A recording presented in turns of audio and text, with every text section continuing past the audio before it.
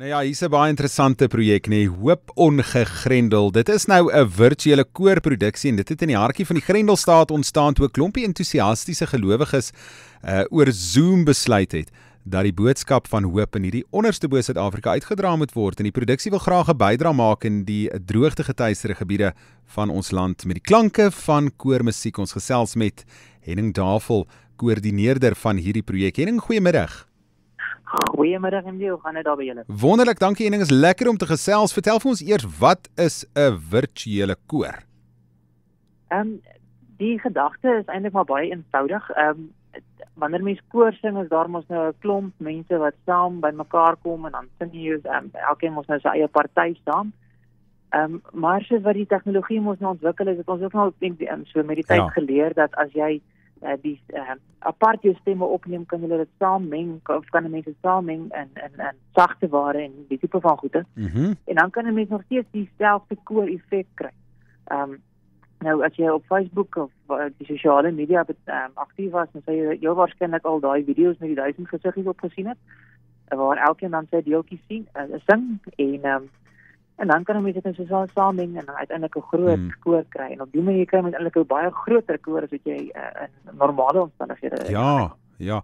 Hoorie, uh, kyk net dis nou juist die ding wat goed is nê nee, en en daar het 'n paar positiewe dinge uit hierdie Grendelstaat uitgekom waar onder andere ons manier hoe ons dink oor sake en en dit het ons eintlik gedwing om bietjie uit die boks uit te dink en en uh, jy weet Inderdaad. so hierdie konsep sou nie ontstaan het as dit nie vir dit was nie. So baie geluk met die inisiatief daar agter.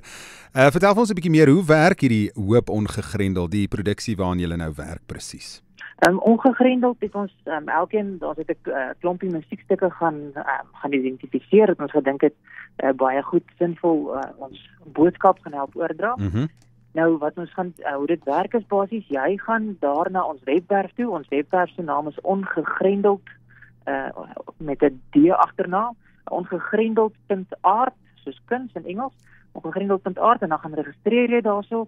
Daar is video's wat jou help om uh, wat jou uh begelei van af hoe om op te warm en watter stemparty al die stempartye is daarso as jy sopran sing of as jy tenor sing of wat ook al die geval is dan gaan klik jy daarso op jou afdeling. Al die video's is daarso. Ehm um, gaan oefen jy en uh, jy kan oefen tot jy tot jy rustig is en reg is dat jy jou party ken. En dan help ons jou om uh, daar's 'n video wat jou help om video of jou eie video te maak sodat jy jou bydrae kan instuur. Ehm um, hoe dit beplan moet word en al hmm. daardie tipe goeders en dan uiteindelik vra ons dat die video's ons so teen 10 September se kant uh, sal bereik. So daar's nou so op die voor voorhand van die naweek is dit nou lekker as jy gewonder wat jy hierdie naweek moet doen. Ehm um, gaan kyk bietjie daarna ongegrendeld.art en dan gaan soek jy jou stemparty uit en dan sing jy saam. Mm. So watter tipe musiek gaan die koor sing? Um, ons het spesifiek met die koor het ons op musiek gefokus wat ons op die hoop van die wêreld gaan laat uh, laat fokus. Um, ons het musiek uitgesoek wat ons daarmee gaan help. So ons het spesifiek Christelike musiek gekies. Um, ons het ook ons beplan dat die produksie hier teen Kerstyd uh, vrygestel gaan word. Um, en so ons het ook Kersmusiek daar uitgesoek, maar Kersmusiek wat ons regtig help om om te verstaan dat dat die hoop wat ons vier, wat die hoop van ons vas het, is nie dis nie mooi weer hoop nie. Dis nie uh, dis nie hmm. goedkoop hoop nie. Dit is hoop wat selfs in moeilike omstandighede regtig nog steeds uh, van toepassing bly en eintlik waarde het en hou. Ja, so hoeveel mense gaan deelneem aan aan aan hierdie? Is daar bekendes wat reeds hulle stemme gaan uh, byvoeg by hierdie uh, wonderlike uh, idee? Weet jy, um, ons reaksie tot dusver toe was wonderlik geweest. Ehm um, ag kom ons begin gou uit met die reaksie uit die buiteland uit. Mhm. Ehm um, ons het belangstelling gekry vanuit Nederland en Frankryk en 'n hele paar ander Europese mm -hmm. lande uit van mense wat nou seker maar daar bly en Afrikaans kan praat ook.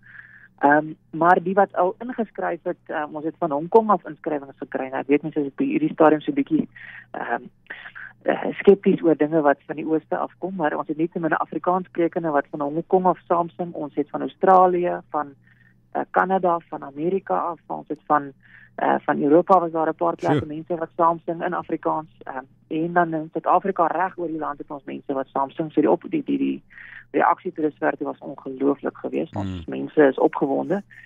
En tot dusver toe ehm um, het uh, Elma Scher van Zelde Wet ehm um, wat nou meer populêre sangers is. Hulle het reeds ingekoop. Ehm um, uh, Rudy Miller het gesê hy kom saam sing. Ehm um, en ons het klassieke mense uh, uh Melindy Pretorius en ehm um, uh daar was ons dat daar 'n hele paar van hulle het ook daar ingekoop. Alida Stouman het ook gesê sy kom mm. saam sing. Sy is so pas terug van Londen af. Ehm um, so ons het ons heerlike groep mense wat saam sing en saamwerk. Ja. En ding so, wat gebeur nou as alles opgeneem is want ons ons ons moet by die fondse uitkom nê. Nee, dit dit dit ja. word dit gaan vir 'n goeie doel. So hoe word daai fondse dan nou ingesamel?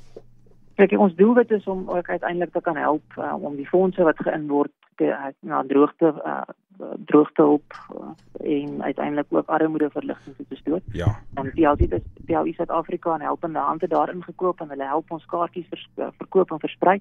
Nou die kaartjies gaan binnekort en as die video's eers ontvang is, kom ons stel dit so, as die video's eers ontvang is, dan gaan ons dit nou begin verwerk en ons gaan dit nou saam met die sangers opneem en al die dinge regskuif. En dan hier vanaf die 16 Desember tot minstens 21 Desember toe gaan die ehm um, gaan die produksie op Dapper Media gestroom word. So binnekort gaan jy dan daarop um, die kaartjies, die kaartjie kantoor maak binnekort daar op Dapper Media oop en dan kan jy daar jou kaartjie gaan koop. Mm, ehm um, mm. en dan nou gaan die uh, fondse alles na na na die uh, droogte hulp en armoedeverligting projekte ja. toe gaan. Henning Ja, want dit klink vir my sommer baie opwindend. So vir nou gaan ons uh vir die luisteraars aanmoedig deur te sê as jy graag wil deel wees van van hierdie projek, gaan besoek daai webwerf ongegrendeld uh .com, né? Nee? .art. ongegrendeld.art. O A R T. Ja.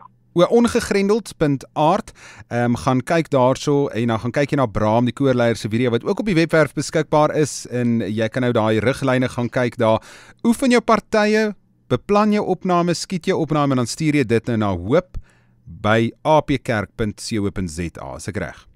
Net so. Hoop, hoop by apkerk.co.za. Ening as daar mense is wat bietjie onseker is en sê, weet jy wat, ek wil graag deelneem, ehm um, maar ek is nie heeltemal seker hoe al die dinge werk nie. Is daar iemand vir julle kan kontak? Ja, hulle kan my kontak. Ehm um, my nommer kan ek sommer so gee. Jy's welkom. Jy's welkom. 071 941 2785. Uh, maar ons het ook gou gaan net hierso sê dat almal het nie noodwendige sangstem nie. Party sing eerder te goor as te noor.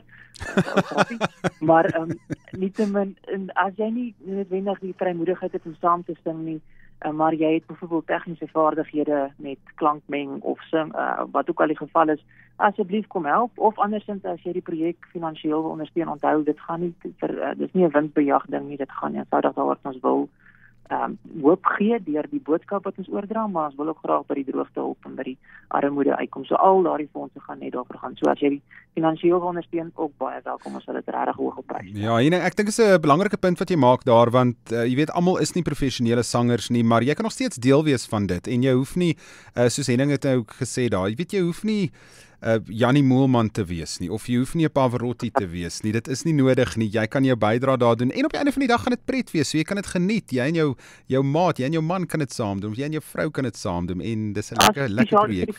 Ja, absoluut, absoluut. Hoe sê uh, Henning jy sê so te goor en te noor uh, vriend Pieter Smit sê laasweek toe sê hy die uh, party mense sing nie hoër of laer nie, hulle sing net harder en sagter. so dit is net so dink maar, maar dis reg so. Baie dankie. Die stem ja. van Henning Davel, die koördineerder. Ek gaan net weer Henning se nommer gee, is 071 941 2785 en dan daai webtuiste is www.ongegrendeld.art en as jy 'n opname wil stuur, hoop@apkerk.co.za. Hierso is Elis Matron.